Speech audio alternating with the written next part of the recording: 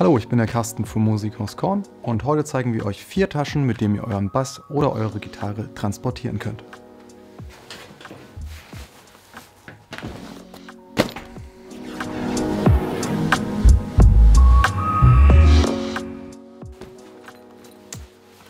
Als ersten Kandidaten haben wir die Korn Basic Tasche.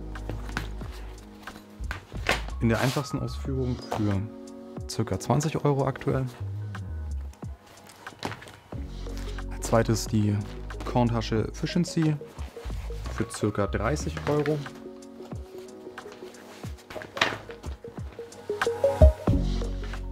Da haben wir als drittes im Bunde die Korn Premium Tasche.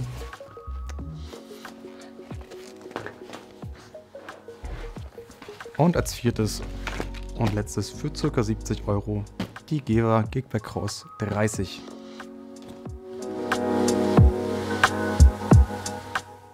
Alle Taschen bestehen aus dem gleichen Material, es nennt sich Kudura. Das ist im Endeffekt ein Gewebe aus Nylon und das wird im Endeffekt, werden die, mh, mm, die Fasern zerstreut und dann nochmal neu verflochten. Das gibt es in verschiedenen Stärken, das Ganze. Fadenstärke wird im Regelfall in der Größe Denier angegeben. Ein Denier drückt aus, dass ein Faden 1 Gramm auf 9 Kilometer Länge wiegt. Unsere Taschen von Basic bis Premium sind aus 600 Denier Fadenstärke und die Gera Crossback ist aus einer 1860er Stärke. Das heißt 1,86 Kilo pro 9 Kilometer Fadenlänge und umso dicker so ein, äh, so ein Faden ist, umso widerstandsfähiger kann der sein. So, hier ist die Stärke von dem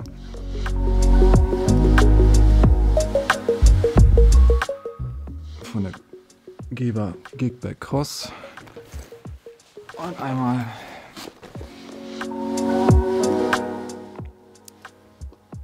das 600er Denier. Dieses Material eignet sich besonders gut, dass es reißfest ist und wetterbeständig. Komplett wasserdicht ist es nicht. Ähm, ihr könnt das Ganze imprägnieren und dann habt ihr auch einen optimalen Wetterschutz. Kommen wir zu den Griffen an den Taschen. Bei der Korn Basic Tasche habt ihr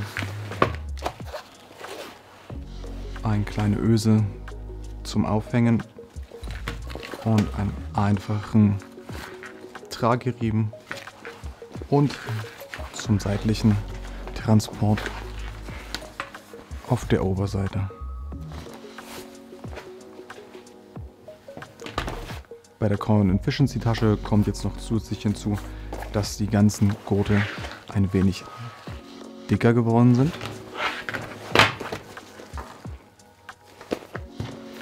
Und dass ein zusätzlicher Griff hinzugekommen ist, nämlich den an der flachen Seite.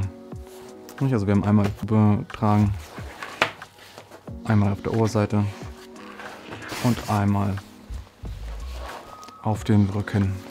Dasselbe trifft auch für die Korn Premium Tasche zu.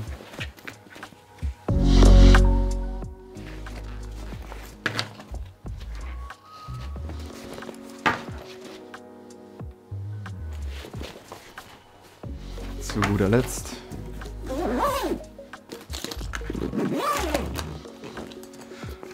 die Giva Kickback Cross.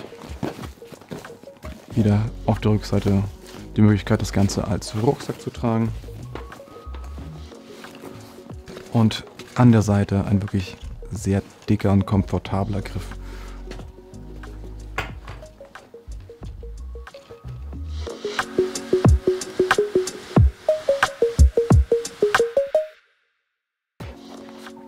So, schauen wir uns mal die ganzen Taschen von der Unterseite an, inwiefern die Taschen euch schützen, beziehungsweise eure Gitarre.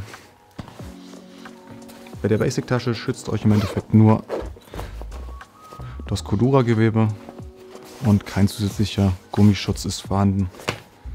Bei der Efficiency-Tasche habt ihr eine kleine gummierte Fläche, die halt vor Nässe, Dreck und spitzen Gegenständen auf der Unterseite schützt. Und ab der Korn Premium Tasche und für die Gigback Cross gibt es eine vollflächige gummierte Unterseite, die eure Gitarre schützt.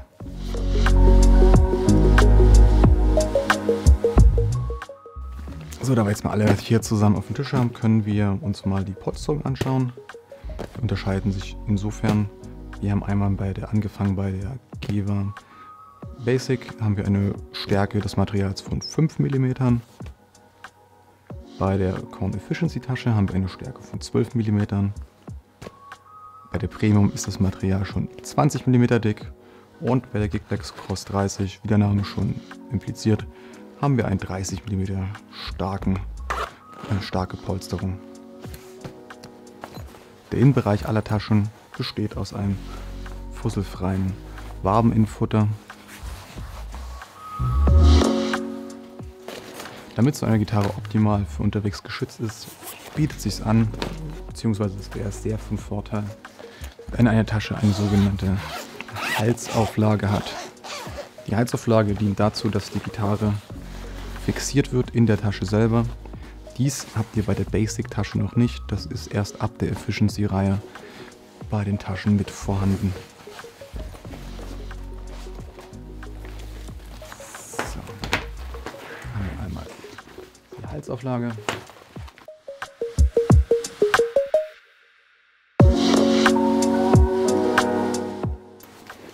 So. Bei der Premium fällt das Ganze schon deutlich größer aus.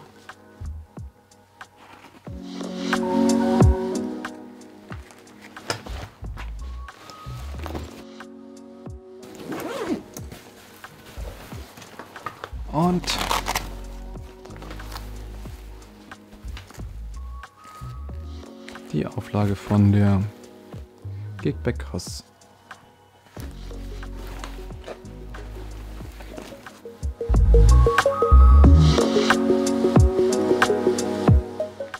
Wir schauen uns jetzt mal an, was alles ins vordere Fass der jeweiligen Taschen reinpasst. Also die Geber Gigback Cross ist für eine Tasche noch die am kleinsten, zumindest in der Höhe ausfällt. Im deutlich größten Bereich haben wir wirklich bei der Premium-Tasche. Und bei der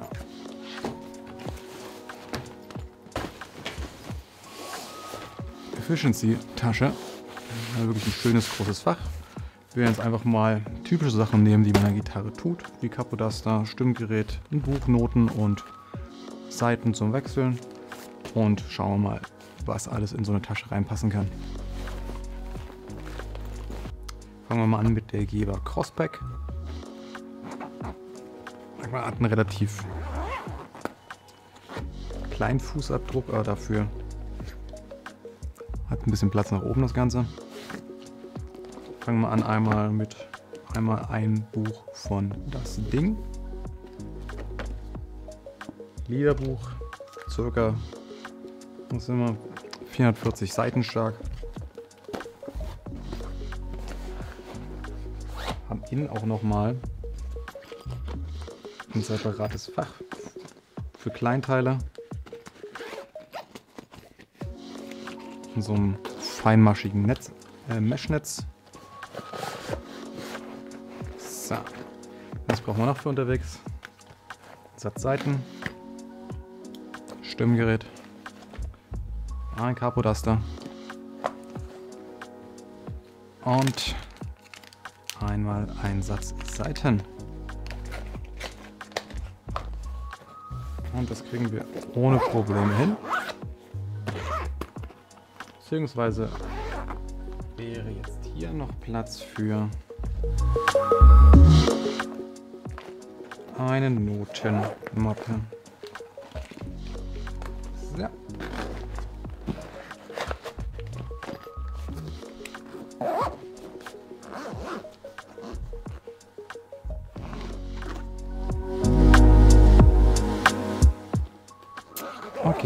Notenmappe bringt das fast zum Überlaufen. Passt gerade so nicht rein. Aber wir müssen auch gestehen, wir haben jetzt hier ein über 400 Seiten dickes Liederbuch mit drin. Ich glaube, es ist eher ein selten Fall, dass ihr jedes Mal so ein dickes Buch mitschleppt.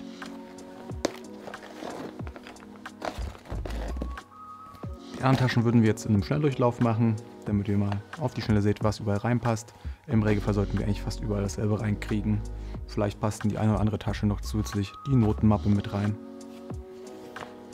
noch zu bemerken wäre für die Gigback, hier haben wir oben nochmal ein flaches Fach. Das heißt, ich habe nochmal zusätzlichen Stauraum für alle möglichen Dinge. Vielleicht eine kleine dünne Jacke, was zu trinken, was zu essen. Auf alle Fälle genug Platz in der guten Tasche.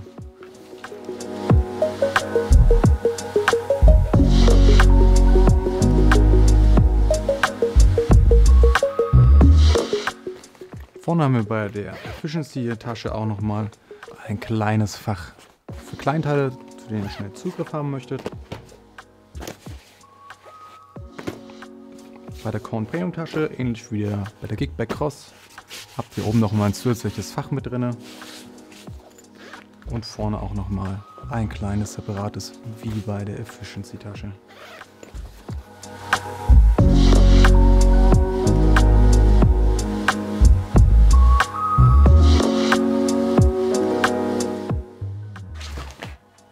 Und zum Schluss die Basic-Tasche. Haben wir wirklich einen einfachen Einzug von hier oben.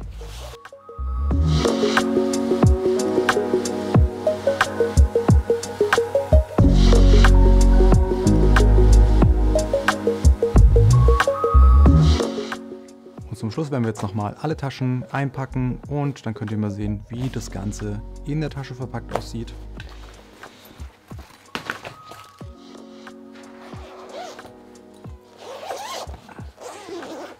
Wie wir vorhin schon erwähnt haben, die Taschen gibt es wirklich nicht nur für Konzert- und Western-Gitarre, sondern auch für E-Gitarre und für den E-Bass. Als Beispiel für die Taschen, die wir jetzt hier mit zur Verfügung haben, haben wir uns einfach mal jetzt eine Konzertgitarrentasche genommen und Taschen für die Western-Gitarre. Seht ihr nochmal an, an dem Basic. Stoff wirklich sehr dünn. Oben an dem Hals haben wir keine zusätzliche Sicherung. Das heißt, der Hals ist unfixiert und frei hier drin.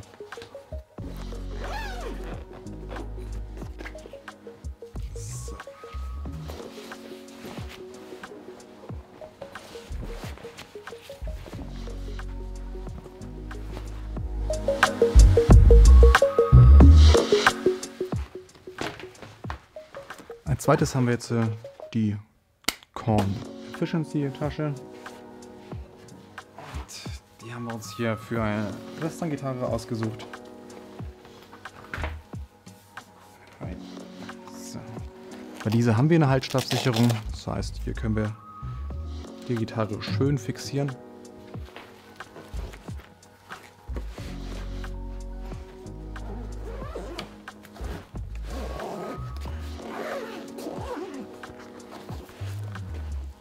Auf der Unterseite nochmal die einfache Bodenschutzsicherung.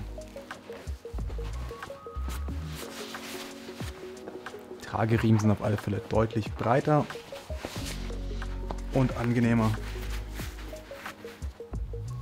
Ähneln schon die eines, eines Rucksackes.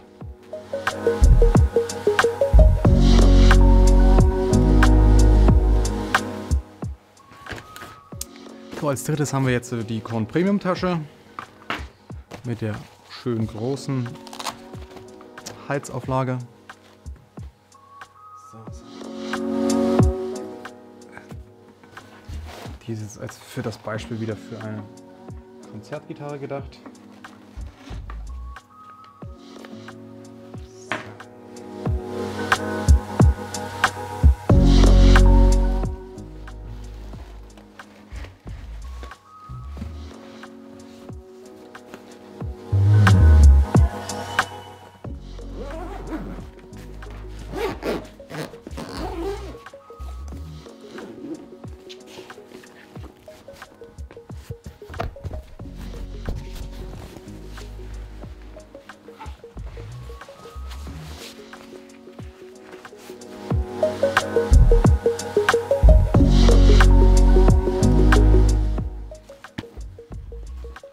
Und den goldenen Abschluss macht dann die Geber Gig Cross 30.